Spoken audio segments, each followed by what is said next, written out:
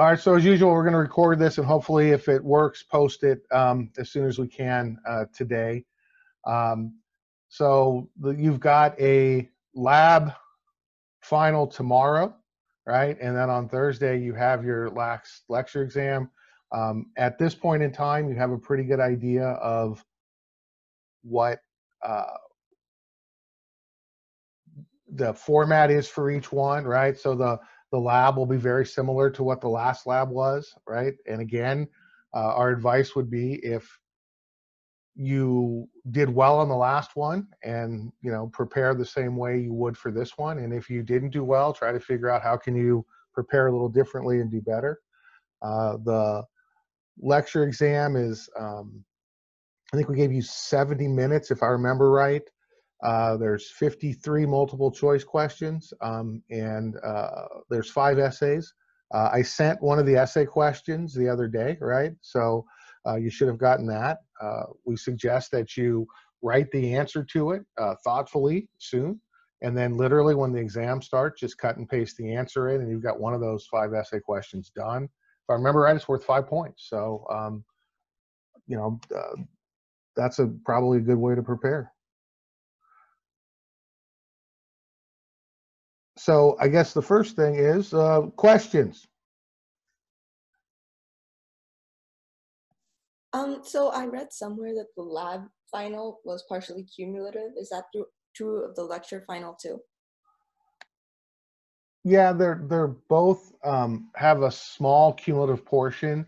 The lecture portion, um, the cumulative is is uh, just a few, uh, which kind of just basic things on evolution, which we sort of did the second time anyway um, I believe. And the lab's got some just some very basic laboratory questions that you should remember from being lab anyway. And I don't think they're they're too complex.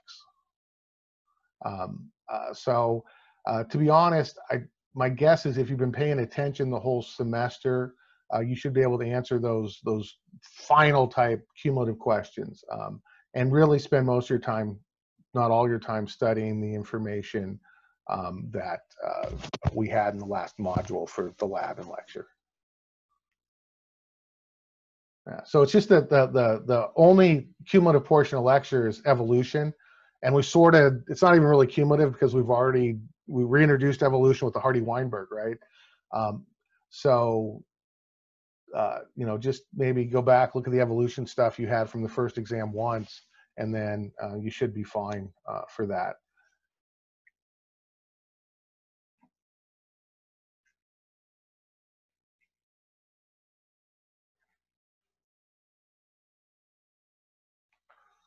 So the lab exam's got a couple things, you know, from the metric system, you know, parts of the microscope, stuff that should be really basic to a, a biology class, um, uh, you know, that you should be kind of familiar with. Um, so, uh, you know, maybe go back and, and review uh, those two labs, uh, but it doesn't have very many questions from it. And again, I think it's pretty, pretty basic knowledge.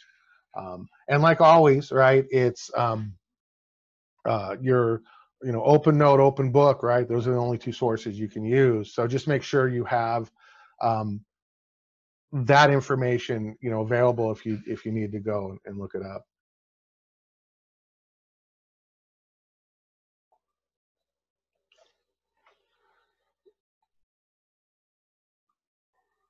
There was a question on codons and anticodons.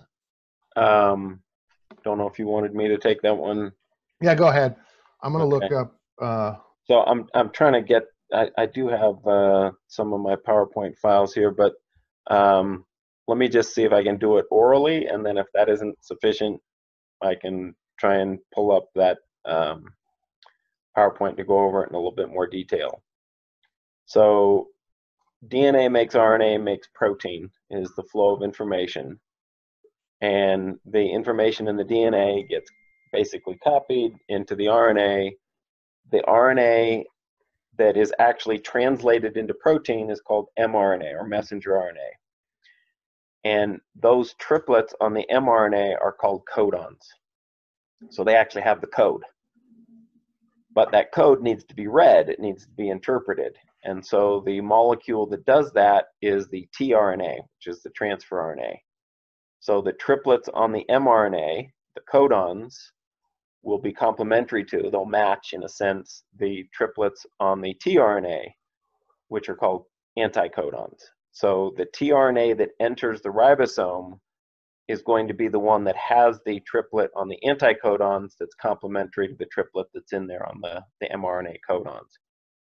So that's how the information gets um, moved from DNA to RNA to ultimately protein. Because remember, the tRNA brings in the appropriate amino acid uh, when it enters the, the ribosome. So don't know if that was sufficient or not. Um, if not, let me see if I can pull up the, uh, the PowerPoint on that.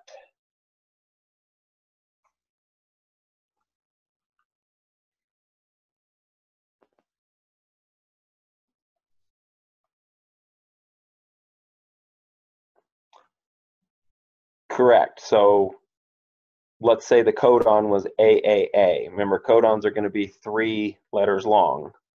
Then the anticodon would be UUU, right? Because RNA, any type of RNA, whether it be mRNA or tRNA, does not have T.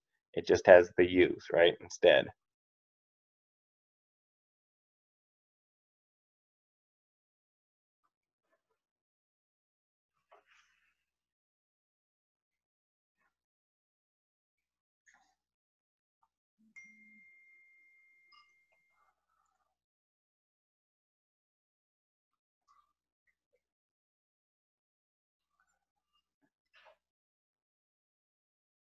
So are we okay with the uh, additional questions on um, the central dogma, or do you want uh, more on that first before we move on and, and talk about the cardiovascular system?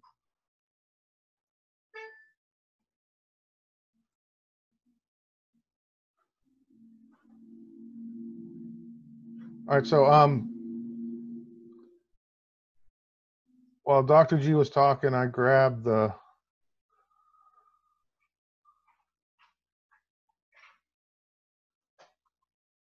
launch call. Let's see if I can figure out. So here's the screen share of the um, central dogma questions, right? Um, and I don't think we have time to do all of them. Um, so what uh, what part do you think we need to do?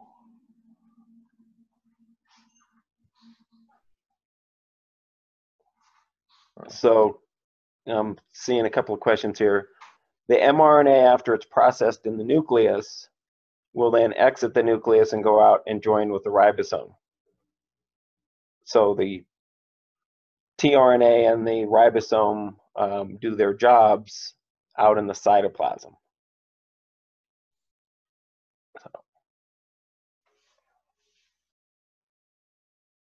All right.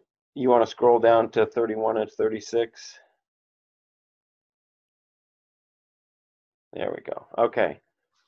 So this chart here shows uh, DNA, mRNA, tRNA, and the amino acid. Now, you also need the codon chart, which is in your lab book and also in your textbook.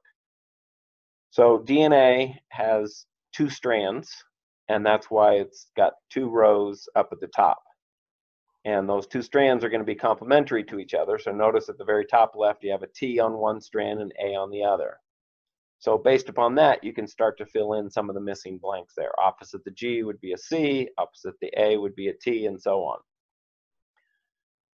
The third row down is the mRNA. So the mRNA is going to be determined by the DNA's template strand.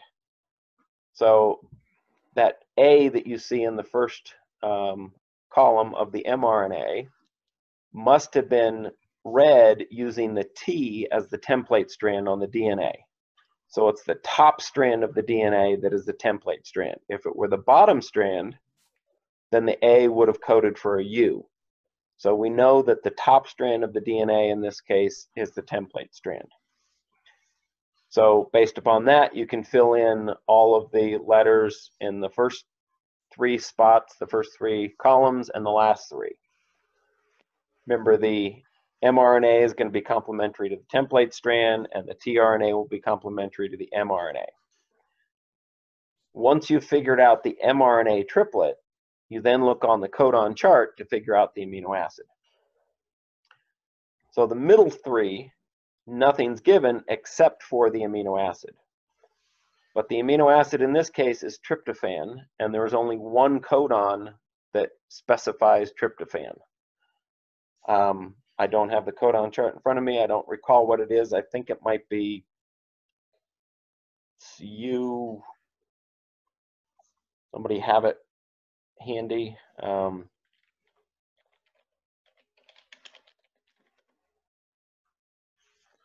case- UGG. what is it? UGG. Thank you. So UGG. Now, that is the codon. Remember, those, that chart is a codon chart. So the UGG would go in the mRNA row. And if you know the mRNA, then you can figure out the template strand of the DNA, and then you can figure out the complementary strand. And if you know the mRNA, the tRNA's got to be complementary. So based upon the information given, you ought to be able to fill in all of the blanks on this chart. Now, question 32 says if we mutated that T and made it a C, a cytosine, then the other strand would be, of course, a G, but then the codon would also change. So the codon would change, and then the anticodon would change, and then so would the amino acid. So you just need to make those changes based upon that uh, mutation that was given there. And then question 35, what base is not found in DNA? DNA does not have uracil, and RNA does not have thymine.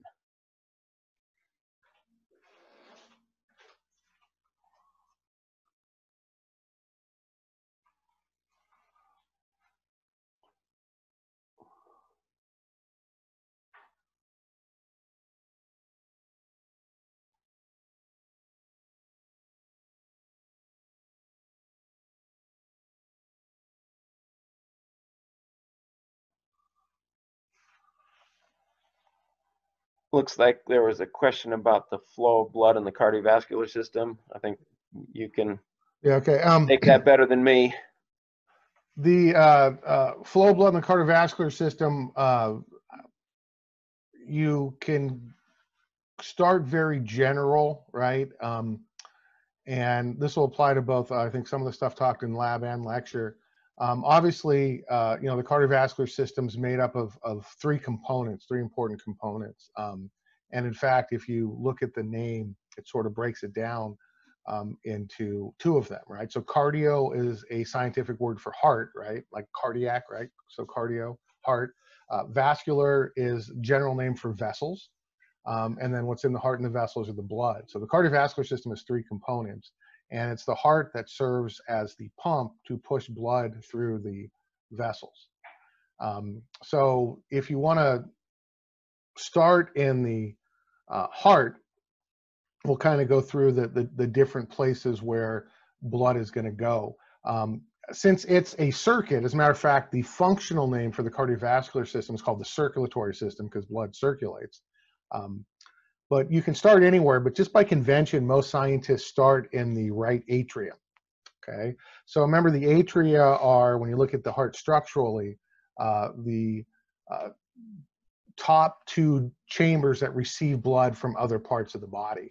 So uh, by convention, typically, you know, when you look at a, a diagram, the uh, heart is facing you, so the right side would be as you look at it, the left side, although that's not always true. Um, so the right atrium is the upper chamber, uh, and its uh, job is just to receive blood and then transfer it to the right ventricle. Uh, so from the right atrium, it goes through a valve, um, and that valve uh, is like all valves in the cardiovascular system to prevent the backflow of blood, right? Um, so uh, when we look at the uh, blood flow then from the right atrium to the right ventricle, uh, very short, small uh, distance in terms of the uh, action. So the right ventricle is not very large. It has a very, th- sorry, the right atrium is not very large, has a very thin wall, and its job is to just, you know, hold blood and then transfer it to the uh, ventricle. As a matter of fact, two thirds of the blood roughly transfer passively, um, where the right ventricle just has a slightly higher pre- sorry, the right atrium has a slightly higher pressure than the right ventricle. Um, when the right ventricle pumps, it pumps blood um, through the what's called the pulmonary trunk, right? Because it's going to the lungs to pick up oxygen. So on the right side of the heart, there's a low oxygen. So there's a little section in lab that kind of goes through that. Uh, low oxygen that goes through there. Um, that uh, pulmonary trunk splits to the left and right pulmonary arteries, and those arteries go to the lungs and eventually go to smaller and smaller vessels.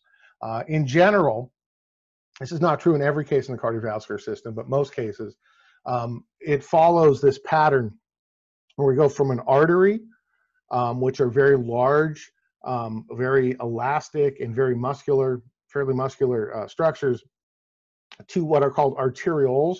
Arterioles are smaller structures that have lots of muscle that dictate um, blood flow to some extent, right?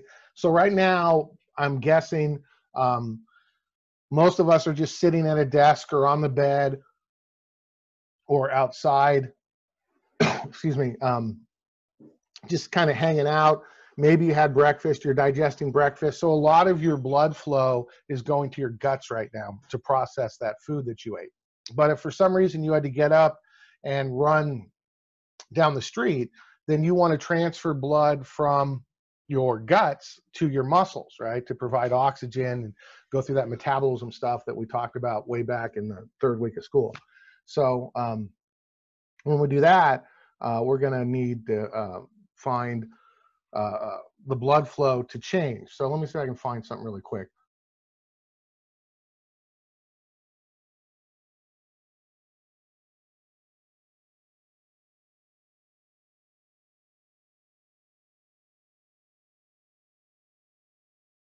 Let me see if I can find the um, heart model. It might help a little bit on the heart stuff. I'm pretty sure what there's one in lab.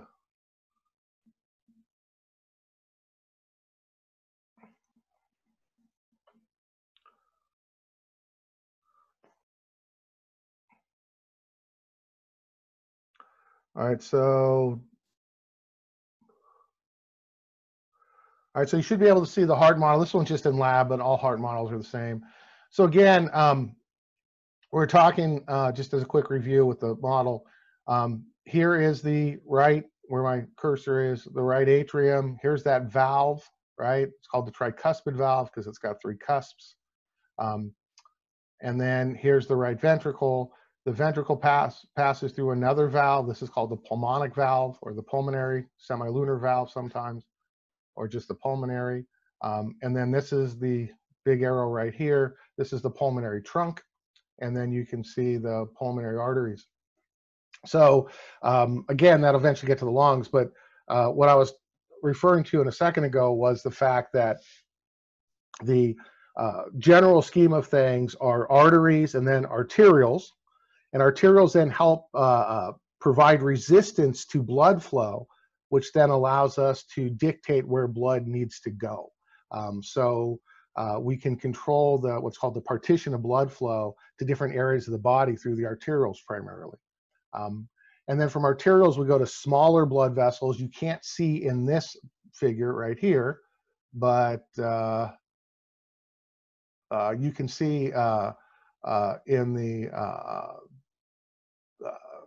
video with the goldfish tail, uh, you can see very small vessels called capillaries. Capillaries are where we see the exchange of uh, uh, oxygen and CO2 and other materials in capillaries. And then from capillaries, we go to venules, which are small veins.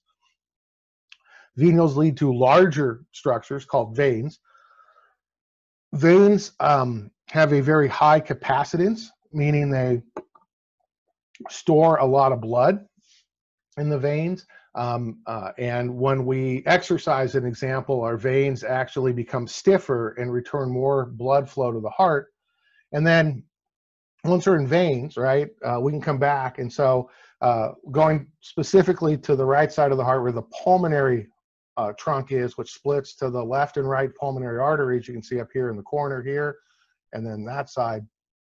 Those go to arterioles and then capillaries called pulmonary capillaries we exchange oxygen we pick up oxygen from the lungs give co2 to the lungs to breathe out and then those go to venules and veins and eventually uh, from the pulmonary side those empty to the left side of the heart to the left atrium through the left and right pulmonary veins so if you I got back in quicker than you did. So Yeah. it's all yours. Ta- Well, take take it away with your cardiovascular. Well, hopefully, uh, uh, we we stay we stay on um, for that. Um so, as I was saying, that um, just a, a quick review for the the cardiovascular. Uh, just from the the general vessel. So we go from the heart to an artery to an arteriole to a capillary to a venule to a vein and then back to the heart. So that's the general pattern in terms of things. Now, for the heart, then, and looking at a little more detailed with the heart, we go from the, as a review again, the right atrium to the right ventricle to the pulmonary trunk to the pulmonary arteries to smaller arterioles and then get to the pulmonary capillaries where we exchange oxygen. We give oxygen from the lungs to the blood and then give off CO2 from the blood to the lungs. It just goes by diffusion through capillaries. Remember, they need to be really small walled so that enhances diffusion. They're single cell um, uh, structures and they're the thinnest of the uh, cell type, the, the simple squamous, uh, one layer of very squished cells, basically. And then when it comes back, it goes to venules and then veins, and eventually these two large veins on the left and right side called the pulmonary veins. Now, just as an aside, notice the right side of the heart is shown in blue, and the left side of the heart are shown in red. The idea is when oxygen binds to hemoglobin, which is a pigment basically in a red blood cell, uh, it's found also in muscle, uh, similar structure, um, it basically turns red. And when oxygen is not bound to hemoglobin, it turns blue or what they call cyan. So um, you might have heard the term cyanosis as an example. Cyanosis means someone's blue because they're not getting oxygen to certain areas. Um, and so uh, that's what you see here in terms of the, the, the color. Once we get back the pulmonary veins, that goes to the uh, left atrium uh, through a valve to the left ventricle. And then from the ventricle, it goes through a valve here, out the aorta, which is the largest artery in the body, right? It arches up and around. It's hard to see in this picture, but it does. And then there's a number of branches that come off the aorta that go to other parts of the body. Um, this drawing doesn't do it justice, but usually the left ventricle has the thickest, most uh, muscle because this is called the systemic circulation and it pumps to the systems, it pumps to the rest of the body basically. So while the right side only pumps to the lungs, the left side pumps to everywhere else, including the lungs actually, um, as well. And so that's called the systemic circulation. And then once you're in the systemic circulation, right, the aorta is the largest artery in the body, and these branches are still arteries up here at the top, these three. Um, uh, and uh, as those branch, eventually get to arterioles and then capillaries and then venules and then veins. When you get to veins, there are two large veins that empty back to the right atrium, uh, the superior vena cava on the top, superior means on top of basically, and inferior vena cava on the bottom. So um, in a nutshell, you go right, at- right atrium, right ventricle, pulmonary trunk, pulmonary arteries, the lungs, pulmonary veins, left atrium, left ventricle, aorta, right? Arteries, arterioles, capillaries, venules, veins, and then back to the inferior and superior vena cava. And that's, you know, a pretty good description of um, the circulation.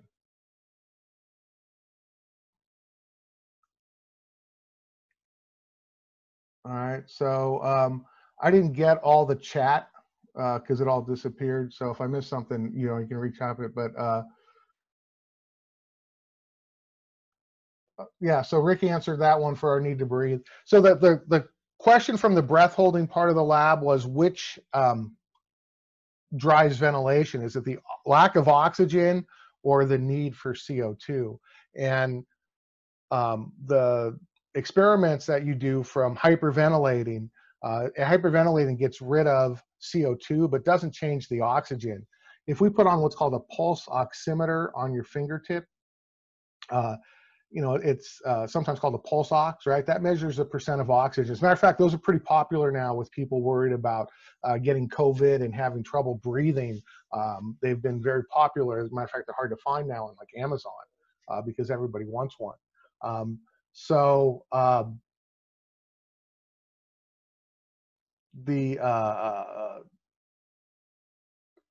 amount of oxygen you have in your blood right now, if we put a pulse oximeter on all of us, it would literally be 99% saturated, meaning our body's already carrying as much oxygen as it could. It's like you getting 99% on an exam. You really can't get much better, right? Um, you know, maybe an extra point, but for the most part, not much better. so when we look at um, the experiments, um, that one doesn't change oxygen, but you get rid of CO2, and you see that you can hold your breath longer. Okay, and then the other experiment in lab uh, that we wanted you to look at was, or one of the other ones for breath holding was to rebreathe in a bag. When you rebreathe in a bag, you're rebreathing your CO2, but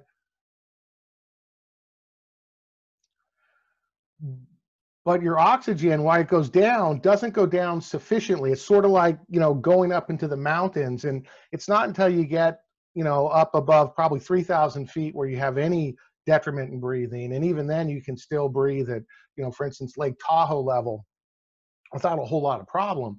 And so the percent saturation when you're breathing in a bag um, is still 99%. We have pulse oximeters, and I've done this lab in lab where students have worn those pulse oximeters in all the experiments, and it doesn't change. It's still 99%, but the CO2 goes up significantly. And so what happens is that in the rebreathing of the bag, your breath holding time is significantly less. And so in both cases, oxygen didn't change, it's the same. And in the one case, when you had less CO2, breath holding time went up. And in the other case, when you had more CO2, breath holding time went down. So it's a pretty clear indication that CO2 drives respiration, um, not oxygen. And and yeah, if you oxygen gets pretty low, then that starts and enhances breathing a little bit. But it's not until it gets pretty low, and so that you know is, is what the whole question was asking. So under normal circumstances, for most people, it's CO2 that drives uh, ventilation and breathing. Um, so for the blood through the heart, uh, through the body in general, it's artery, arteriole, capillary, venule, vein, back. There's a few exceptions to that rule, but in, in the vast majority of it, um, that's what we're looking at uh, for that.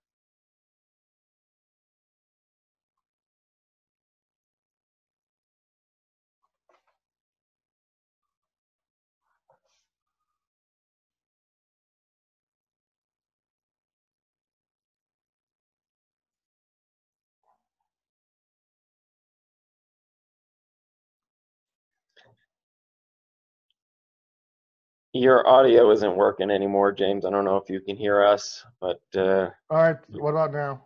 yeah, now I got you. All right.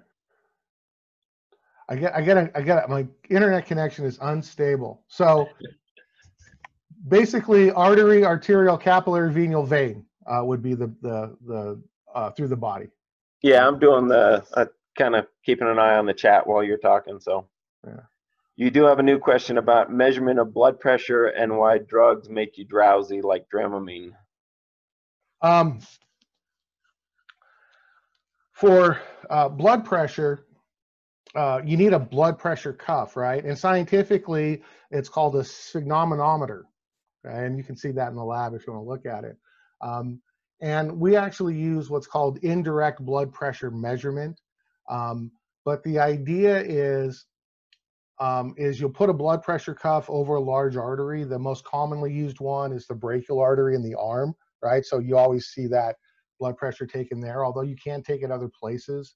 Um, as an example, um, if you went into a dentist's office, probably they probably have an automatic blood pressure cuff that goes on your wrist. Um, and again, it's under the the same principle. It's not quite as accurate, um, but um, basically, uh, what we're doing is we're listening to blood flow.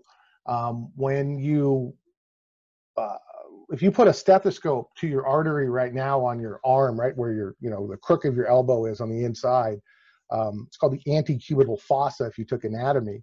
Uh, that is uh, where a stethoscope is a listening device, right? And if you put it on your arm right now, you wouldn't hear anything because blood flow is flowing fairly freely, um, and you can't hear that. It's called laminar flow, and you just don't hear it very well on a stethoscope. Um, so what we would do in lab is we'll take a blood pressure cuff and put it on the upper part of your arm um, and then uh, pump it up.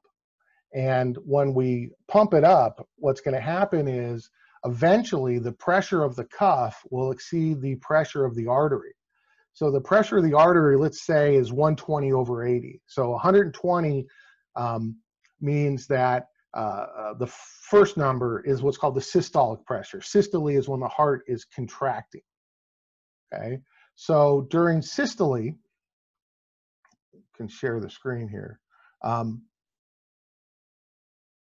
during systole, when the heart is contracting,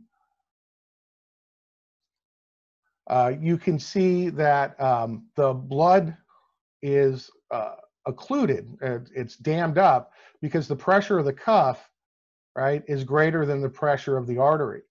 Uh, and so there's no blood flow. And since the stethoscope, remember, blood flow would go from the upper arm down to the lower arm, right? So arteries go away from the heart, so the blood flow would be going through. Now, the blood flow in the artery is what we call pulsatile, so it gets pushed through every time the heart beats. Uh, it continues flowing um, during that time because of the elasticity of the arteries, but uh, it's called pulsatile flow. And so, what happens is when you block the cuff by occluding the artery with a higher pressure, blood flow stops. Since we're listening after that point, um, we are going to not hear anything on the stethoscope because there's no blood going through because it's occluded. So then you use the little bulb down here and you start to let the pressure out. So what happens is the cuff deflates. As the cuff deflates, the pressure of the cuff goes down eventually cuff pressure will be less than the pressure of the artery itself. And so at 120, let's say the blood pressure was 120 over 80, at 120, right now the uh, arterial pressure is the same as cuff pressure. And the next beat, once the cuff pressure is slightly lower, blood spurts through, right? Because now the arterial pressure is greater than the cuff pressure, so that pressure wins and it spurts through. So you hear that in the stethoscope. So the first sound you hear during the blood pressure measurement, which is this one right here, this B, right, is when blood's going through. Okay, but that's only when the heart is pumping, when it's exerting the highest pressure. Okay, when the pressure of the artery goes down during diastole, when the heart's relaxing, the pressure goes down some. Um, the cuff pressure is still higher from that, so you won't uh, you won't hear anything. Okay, again. And so every time the heart beats, you'll hear a beat literally in the stethoscope. And that's when the cuff pressure is between systolic pressure and diastolic pressure. And so literally you'll hear boom, boom, boom, boom. And as the cuff pressure gets lower and lower, um, eventually when the cuff pressure gets below 80, now blood is flowing freely because in all cases, the cuff pressure is less than the systolic or diastolic, remember diastolic is relaxing, uh, diastolic pressure of the artery. So the sound goes completely away. So basically you listen to the first sound, that's systolic, and the last sound, that's diastolic. And you know, in this case, it was 120 because we didn't hear anything above 120, and 80 because it was flowing freely after one uh, after 80. So that blood pressure would be 120 over 80. this figure kind of shows it a little differently. I think this one's probably better, where um, these are the sounds you hear, these little mountains that are filled in um, during the middle part. That's called pulse pressure. You don't have to know that, uh, but uh, you hear those individual beats. So that's how blood pressure works. Uh, we measure blood pressure to see if um, uh, is important in terms of uh, health and hypertension. High blood pressure is a very serious disease that you know we see in our society, and you know, and even in linked to uh, people with hypertension have a higher mortality rate, for instance, if they, uh, for most diseases, to be honest, but COVID in particular, um, there's some data that shows that uh, in terms of that. Um, for uh, the Dramamine, I'm not sure exactly how uh, uh, Dramamine works in terms of um, the central nervous system. I don't think it has any direct effect on the heart, though. I, I'm pretty sure it affects the um, it affects the uh, part of the brain um, that is important for uh, basically motion. Um, and so um, I think that it just uh, uh makes you more fatigued because affecting other parts of the brain as well. Uh, but um, I'm not exactly, obviously not important for the exam, uh, but just from you know everyday life, um, it does not it does not slow your heart rate though in terms of that. And so uh, it makes it drowsy from affecting other parts of the brain. Like most drugs have side effects. And so we're trying to affect one part of the brain. Uh, in this case, it's the uh, hypothalamus. Um, but um, uh, I'm not sure uh, exactly what other parts of the brain it's also affecting that's making you uh, tired. Um,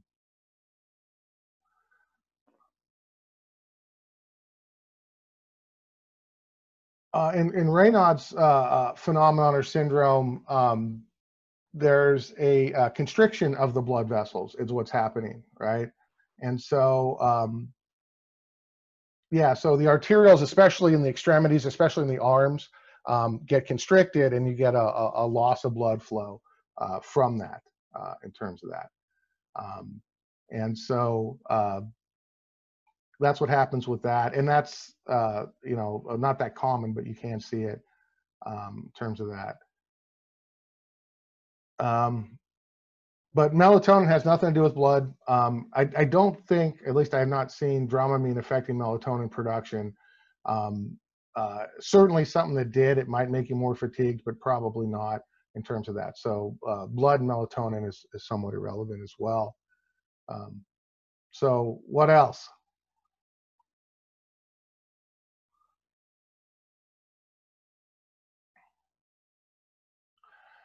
Uh, when the diastolic pressure is low, that's actually a, a, a, good thing in as long as you're what they call asymptomatic. Um, so just like high blood pressure is called hypertension, low blood pressure is called hypotension. Hypo meaning meaning too little. And actually, from a statistical point of view, the lower your blood pressure is, as long as you don't have any symptoms. So we call that asymptomatic. You've seen that alert word a lot with the again the COVID stuff uh, because there seems to be a lot of um, asymptomatic carriers. And part of the problem is, at least from a scientific standpoint, is we're not testing enough people, so we don't know what that rate is, and it could be anywhere from, you know, doubling the number. Most estimates are at least to five or ten times the amount of people. Um, so asymptomatic means you don't have any symptoms. So the symptoms of low blood pressure would be you can't get enough blood to your brain, especially when you are under stressful conditions. Um, so if you stand up quickly, as an example, you have a reflex that's called the baroreceptor reflex that pushes more blood up to your brain so that your brain gets enough oxygen. If you stand up quickly and you have low blood pressure, you may not be able to get enough blood to your brain, and as a consequence, you're going to faint and pass out passing out itself isn't that bad, but it's what you hit on the way down. And so, um, you know, it also happens in, in, change of conditions. Like sometimes people jump in a, in a very hot or very cold shower can do that um, because it changes blood flow, especially a very warm shower uh, because it sends more blood flow to the skin. And um, that means there's less away from your brain. So people that have low blood pressure, right, typically know that and they don't stand up quickly, as an example. Um, so, and that's the last, the, the lowest one um, in terms of that. Um, yeah, so if, if you don't get enough blood to the brain and it, you know, uh, gets in your lower extremities, um, then because you only have so much blood volume, about five, five and a half liters of blood. Um, if it's not all going to your brain, then um, you know you can uh, uh, faint and pass out. And so low blood pressure usually uh, doesn't result in those symptoms. And typically, if it does, it's um, young, uh, fit women, to be honest, more often than not. Um, and so, usually, as you get older, um, blood pressure uh, increases uh, uh, significantly. Um, that's why we see so many cases of hypertension as we get older. Um, and so, and if you're looking at the chat, um, uh, when uh, it talks about syncope, it's not, it's called syncope. That's just a fancy scientific name for um, fainting.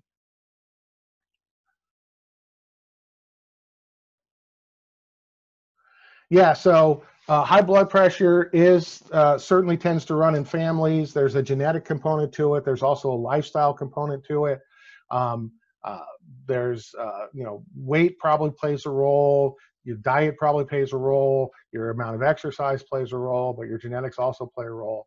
And, you know, unfortunately for most of us, um, your best guess at what you'll be like when you're older is what your parents are like now. Um, and so um, if you have incidences of high blood pressure in your family, you should get it checked often. Uh, you should try to maintain an ideal body weight. A lot easier said than done. Uh, you should try to, you know, uh, exercise, and, and that helps with that. Um, but uh, you know, there's sometimes there's not much you can do about it, um, and uh, you know, it can be fairly easily controlled with drugs. We've got a lot of good drugs now that do it that have pretty low side effects. Um, but uh, it, it long-term hypertension will cause a lot of a lot of problems. Matter of fact, I was driving to pick up my wife coffee this morning and was listening to a commercial about high blood pressure and strokes, and so I, have heard that a couple times now uh, in terms of that. Um,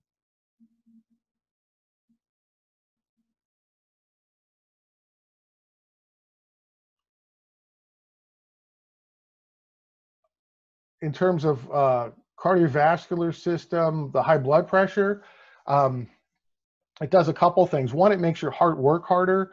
Um, at diastole, okay, and, and if you ask um, a nurse or a doctor, um, you know, which is worse, right? Let's say we're going to say, okay, we're going to make you hypertense. We're going to give you hypertension. What uh, uh, what do you want? Do you want it to be in systole or diastole?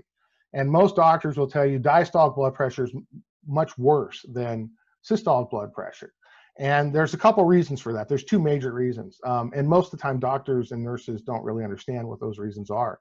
Um, but uh, one of the one of the reasons is at rest, especially about two thirds of the time, our heart spends resting in diastole, and only about one third of the time it's systole.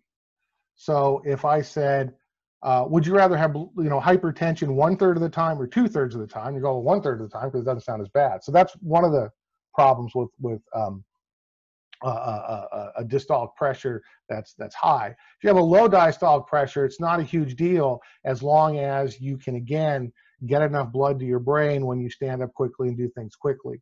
Um, and most people don't have um, uh, that low hyper hypotension where, where that becomes an issue. Uh, the other reason why hypertension in diast di the diastolic region is so bad is your heart has to work harder to overcome the resting pressure. And what happens are a couple things, but one is that means your systolic pressure has to be higher, which then increases the pressure in your uh, arteries, which then increases the likelihood of having what's called an aneurysm, where, um, and that's about 20% of strokes are due to these, these aneurysms that end up bursting. Um, and so the uh, walls of the arteries begin to separate and get blood in between them, and that creates some big problems.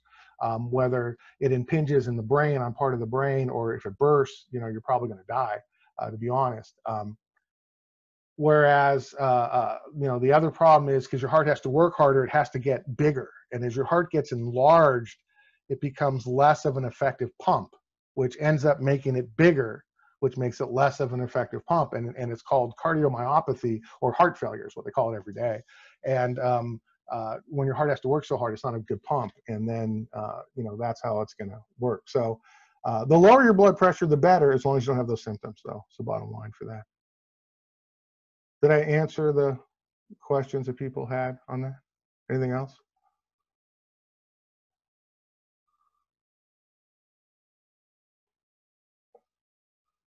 All right, anything else for upcoming?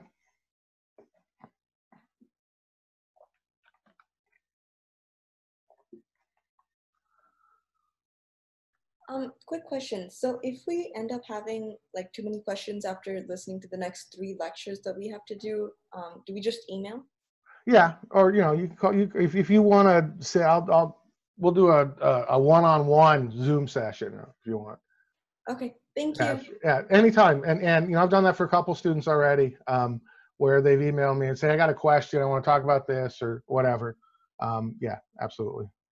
You can email me anytime. Right? Yeah. So um, yeah, e- email me and, and and remember to include Dr. G. And again, try not to email from Canvas. One of the problems with Canvas, you guys, you know, I know that um, not all of you are are familiar with Canvas because you know you're new to the school and system. Um, but one of the problems with Canvas is if you email, you know, uh, Dr. G and myself, I don't know he got the email and he doesn't know I got the email, and so and it's hard to respond, and I can't respond to that response if I need to. So that creates a problem um, in terms of that. And uh, you know, so just go to your regular email, or you can go to the inside email from your email, regular email, and email us both, and it becomes a lot easier.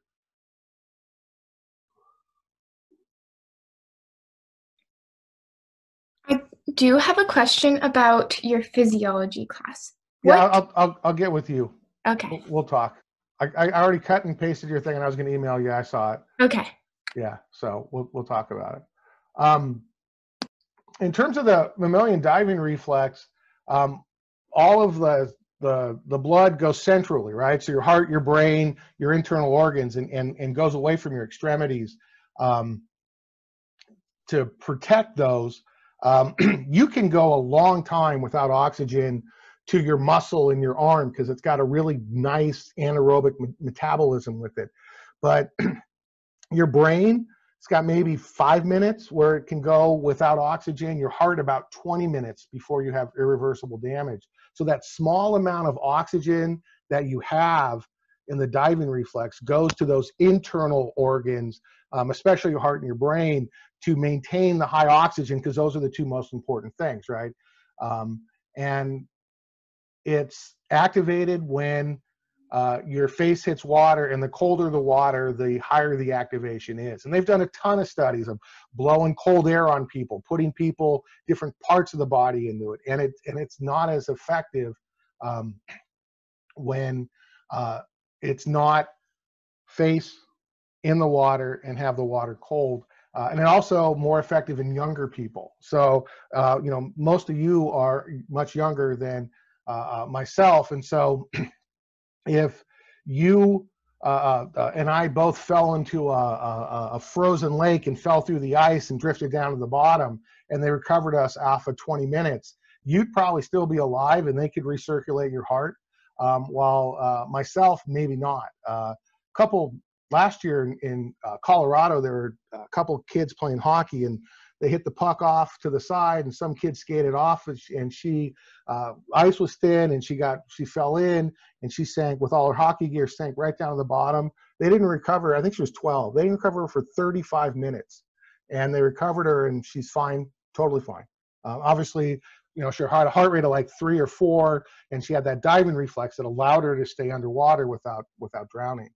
Um, so that um, blood flowing when you get a, a, a, head rush, right, is when you're that that baroreceptor reflex I talked about when you stand up quickly is your heart speeds up um, to make sure that you're getting enough blood to your head, and so that's what you feel there um, when you stand up. It's that it's that blood pressure uh, thing.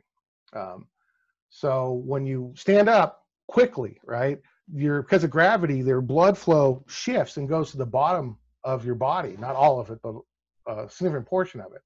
And to make up for the lack of blood to the brain as compensation of a reflex that tries to increase the amount of blood to your head.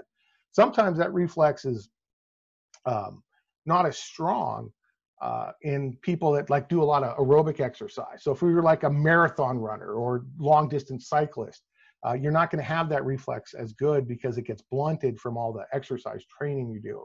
Uh, it also could be blunted for other reasons, but uh, uh, that yeah, the, that that increase back to the head is to make up for that lack of blood flow you initially saw. Because again, your brain doesn't do very well without oxygen, right? You only got a couple minutes before you have permanent irreversible damage.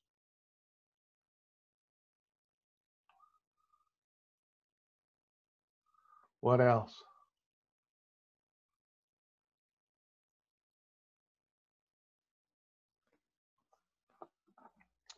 Anything?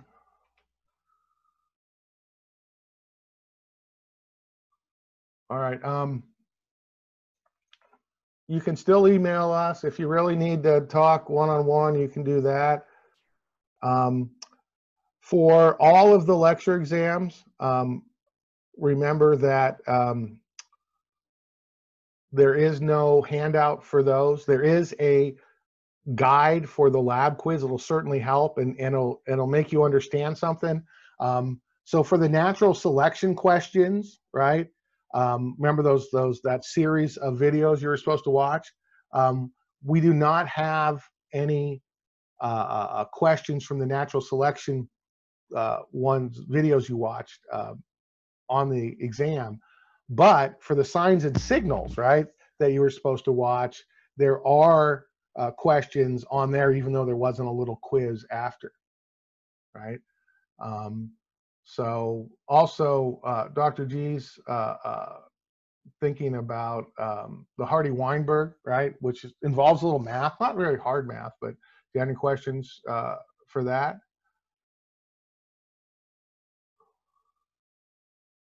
Did I answer that for the exam key? I assumed you meant a guide.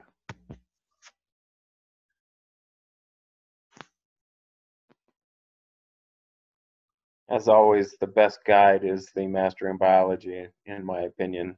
Um, obviously, the the lectures and and the other things, the the textbook, but I think the Mastering Biology is the um, the, the key to if if you can do those questions without looking up anything, uh, you're probably well suited for doing the exam just fine. And if not, then you've got a little bit more studying to do.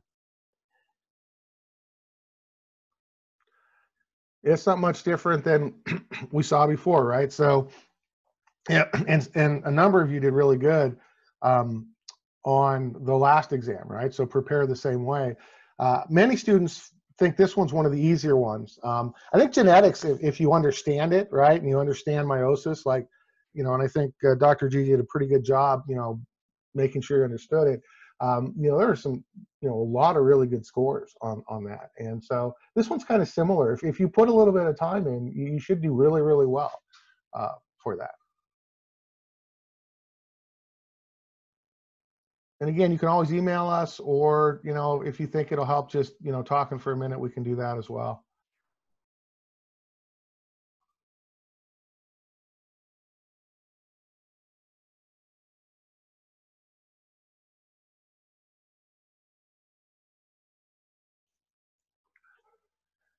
You should understand the the lung volumes and capacities a little bit. Um, I think it it helps. Um, but uh, you know, I so yeah, you probably should understand them. Um, you know, vital capacity is probably the most important one in terms of that, but you know, there are all the other ones are are important for for understanding um, in terms of that. So inspiratory capacity, expiratory reserve volume, tidal volume, total lung capacity, uh, uh, residual lung volume, all of those are probably important to kind of understand how they relate.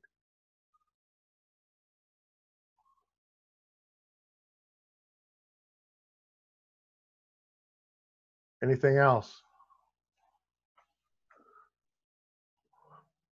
Just along those lines, it's always helped me to remember that volumes are um, just one thing and capacities are the sum of more than one volume. So inspiratory reserve volume is different from inspiratory reserve capacity.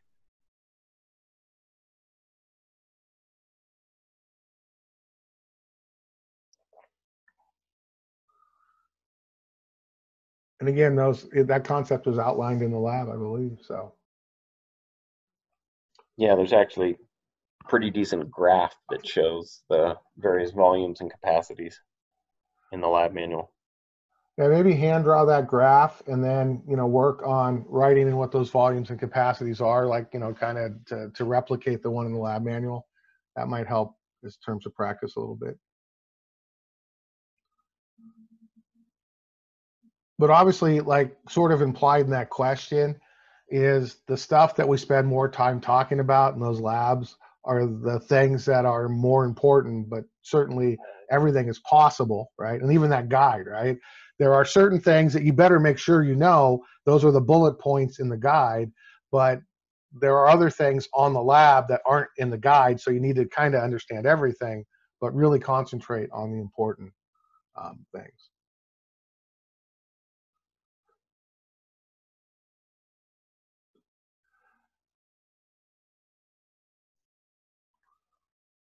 Let me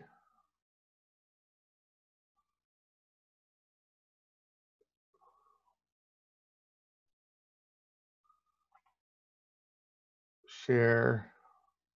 So the difference between inspiratory reserve volume and inspiratory capacity is one is how much you can inhale after an inhale, and the other is how much you can inhale after an exhale.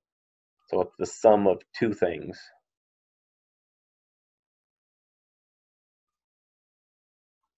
I actually thought there was a, a whatchamacallit in there, but we didn't include that. Yeah, so as, as always, you know, again, the, the lab book is not unimportant. Um, so make sure you have a lab book and, and using it, and that'll help.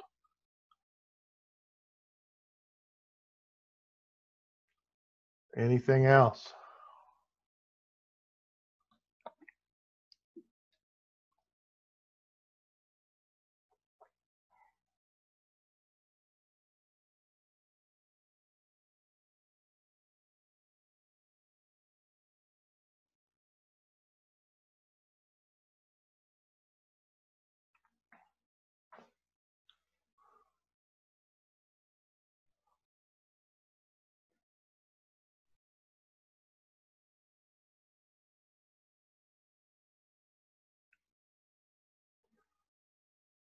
I'm, I'm judging from the lack of activity. We're okay for right now.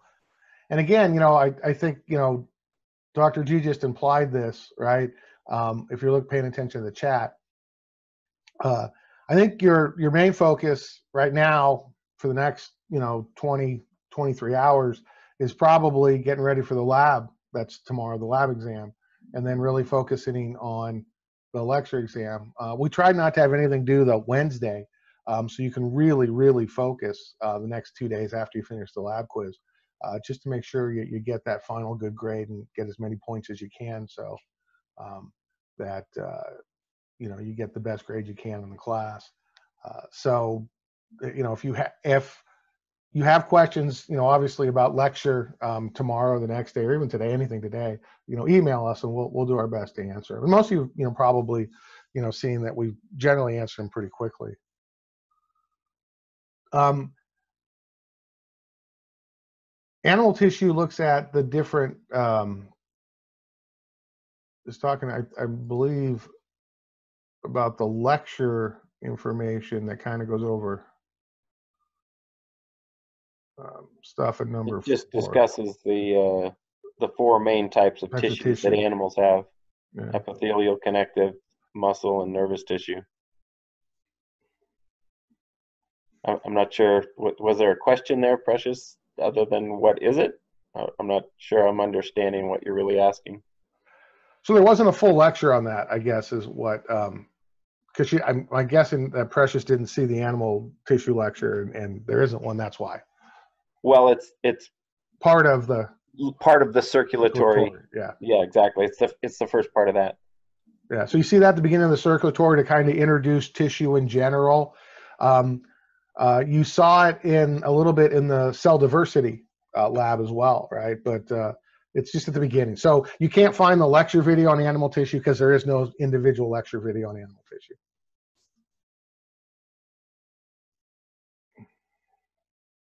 Anything else?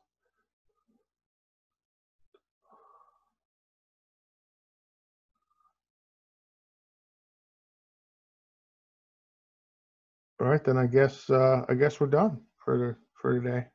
So thanks everybody showing up. Uh, we'll actually have two videos posted. Uh, when it kicked me out, it stopped the first one, and when I came back on, I started a second one. So I'll post both of them, or maybe I'll string them together. Um, and that middle part that I wasn't there of, I won't know because I didn't don't have video of that. But otherwise, we'll be okay. You're all welcome. Um, Yeah, bye, everybody. all right, uh, Madison's, um, I'll, I'll talk to you for a second. Um, uh, Madison wanted to know about physiology. So, um, the problem with, uh, physiology for you, Madison, is that you need a chemistry prerequisite and an anatomy prerequisite to take it. And you need a, a college anatomy, and I'm guessing you didn't have that. So, while I would love to have you in the course, um, you wouldn't be eligible because you don't have those. Even if you had a high school chemistry, that would count, uh, potentially. Um, but the uh, anatomy, you, you would need an anatomy college uh, course. Right? Do you have that? I'm guessing you don't. Okay. I was planning on taking it this upcoming like semester. Yeah. Okay. Okay. But you are welcome in my physiology class when you have the prerequisites. Absolutely. And if you can't get in, email me. I will add you as an extra person. All right. Okay. That's that's that's the one thing you get for being in our uh, our uh, biology class is I always try to make sure even uh, even if I have to teach a little extra to make sure you get in. Okay. All right. So anybody else? All right, then I'm gonna um, say thank you. I didn't go off again, and my internet stayed stable. And I'm gonna call my internet company and see what's going on. So, all right, actually, I'm gonna have my wife do it. So, all right, thanks everybody. Uh, let us know if you got questions, and uh, even if you need another Zoom, I can do it. All right. So, thanks, and, and good luck tomorrow. Bye.